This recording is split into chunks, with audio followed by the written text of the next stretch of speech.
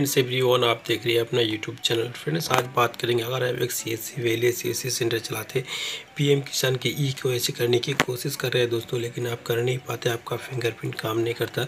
तो किस तरह से अपना पीएम किसान का ई के ऐसे कंप्लीट कर सकते हैं? अपना शहर में, मोहल्ले में जितने भी लोग हैं पीएम किसान के लाभार्थी है दोस्तों, उन लोगों को आप पीएम किसान की ई कंप्लीट करने के बाद वो नेक्स्ट में वो भी, उसका भी पेमेंट आता रहेगा। दोस्तों, अगर आप पीएम किसान की ई को ऐसे कंप्लीट नहीं करते दोस्तों का जितने भी किसान है दोस्तों आपका अगर नज़दीकी में उनका नहीं करते हैं तो उसका पेमेंट रुक जाएगा दोस्तों। वो पीएम किसान की ई के वैसे की वैसे नहीं करने से पेमेंट नहीं आएगा दोस्तों।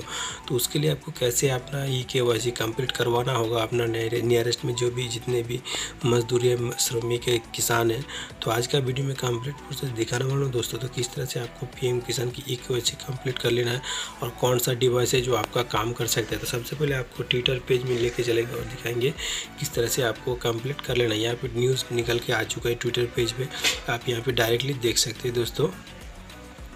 सबसे पहले आपको यहाँ पे देख सकते हैं एक न्यूज़ जैसे हम यहाँ पे आएँगे आने के बाद ट्विटर पेज भी यहाँ पे देख सकते हैं। D R belly C S C P M Kisan enable through C S C currently will be available biometric device in static biometric device पे आप काम कर सकते हैं सी का जितने भी लाभार्थी है दोस्तों जितना भी पीएम किसान का लाभार्थी है दोस्तों वो पीएम किसान की जो के नहीं किया है अपना सिस्टम में अपना लैपटॉप या कंप्यूटर में आप स्टार्टअप डिवाइस का लगा के उसका पीएम किसान की ई के वैसे कंप्लीट करवा सकते हैं दोस्तों। अगर आप अभी तक अपने कंप्लीट नहीं करवाया दोस्तों तो उसका पेमेंट लग जाएगा उसका पेमेंट नहीं मिलेगा दोस्तों तो आज ही से आप काम करना स्टार्ट कर सकते हैं और पीएम किसान की ई के वैसे कंप्लीट करवा सकते हैं।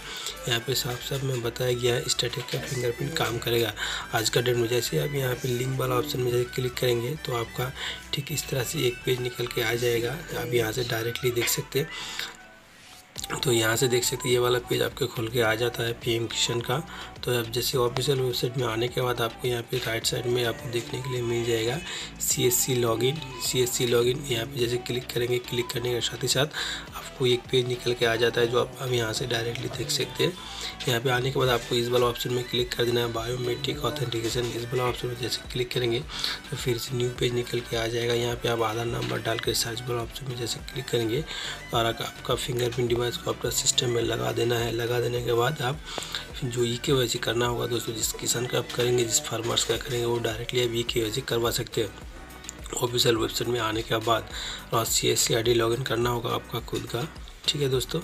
यहाँ पे डायरेक्टली आप करवा सकते हैं काम। अगर आप तक चैनल को सब्सक्राइब नहीं किया तो चैनल को सब्सक्राइब कर लेना और साथ साथ बेल आइकन को प्रेस कर लेना, क्योंकि इसी तरह की टेक न्यूज़ टेक्नोलॉजी वीडियो आपको आता रहेगा, देखने के लिए मिलता रहेगा।